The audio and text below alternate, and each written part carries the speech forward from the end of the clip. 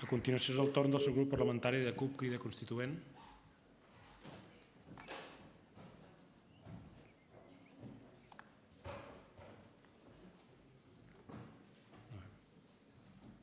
Té la paraula el senyor Vidal Aragonès. Gràcies, president.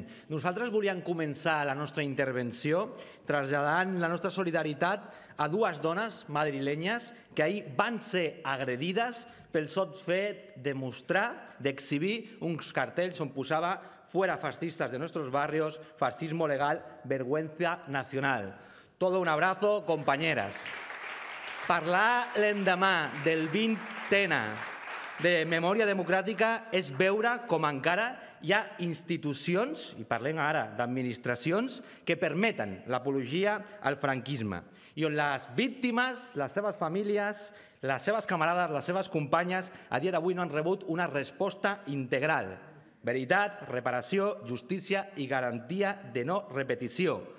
D'una manera molt ràpida, mig milió de morts o mortes, 150.000 a Catalunya, centenars de milers de consells de guerra, més de 63.000 a Catalunya, desenes de milers d'executades en falsos processos o derivats de falsos processos judicials, més de 6.000 al conjunt dels països catalans, i el que van significar quatre dècades de repressió, manca de drets i llibertats, i molt especialment les nacionals, tortura, persecució, camps de concentració i treballs forçats i, com sempre, la dona amb la doble repressió, en uns casos rapades i en d'altres violades.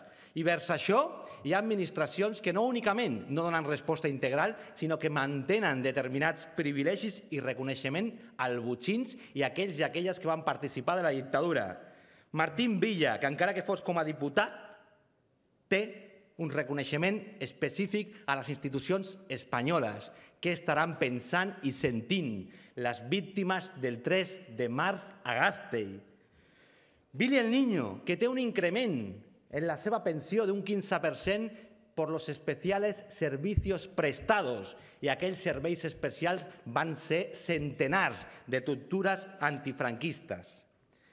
Perquè quan nosaltres plantegem, i el conjunt d'entitats de memòria històrica, veritat, justícia, reparació i garanties de no repetició, fonamentalment i en primer lloc és per aquelles persones que van lluitar contra el franquisme, que van fer possible que el franquisme després de Franco no continués i que lluitaven per drets i llibertats, que van avantposar la legitimitat de les seves reivindicacions a la legalitat del franquisme, que van avantposar el fet de sacrificar els millors anys de la seva vida respecte al fer a les lluites de caràcter col·lectiu i per una societat més justa. Els hi devem pràcticament tot o gairebé tot del que hem gaudit com drets i llibertats.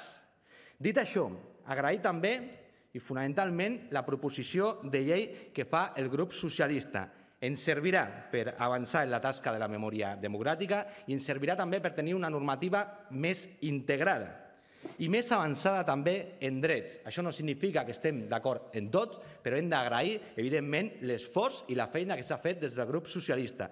Agrair també al govern el fet de que tinguem a dia d'avui un avantprojecte de llei integral de memòria democràtica de Catalunya i agrair conjuntament la voluntat que hi ha hagut, per una part, pels proposants i pel govern per retirar l'esmena a la totalitat i que podem tramitar en una sola ponència dues normatives que no són en si mateixes contradictòries i que ens, volen, o ens poden generar un molt bon debat.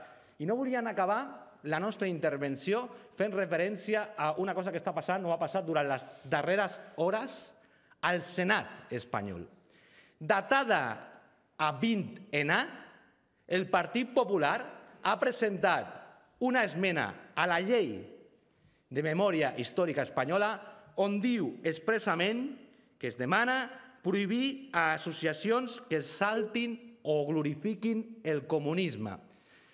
La CUP Crida Constituent, des d'aquest Parlament i des d'aquest faristol, dient d'una manera clara que fem exaltació absoluta i glorificació d'aquells comunistes que en els oscurs anys del franquisme, en els pitjors anys del franquisme, ho van donar tot per conquerir drets socials i nacionals del nostre poble.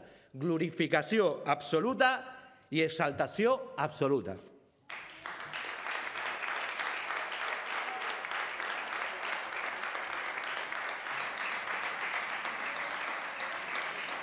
Gràcies, eh, senyor Aragonès.